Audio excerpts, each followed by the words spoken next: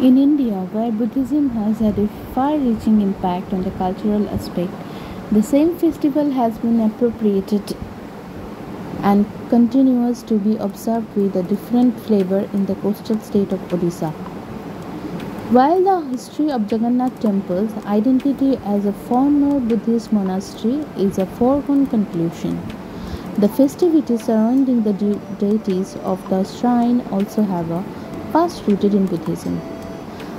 Alexander Cunningham, the first Indian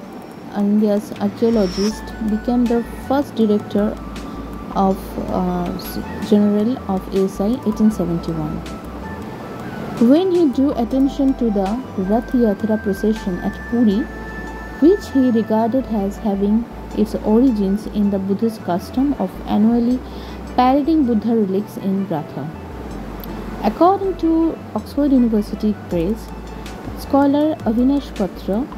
uh, reference, William Bruton, the first English traveler to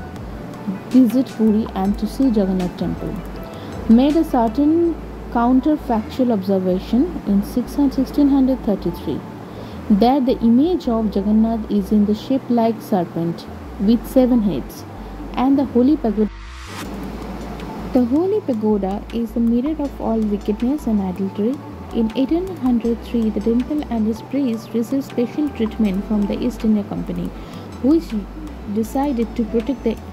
institution for economic and political reasons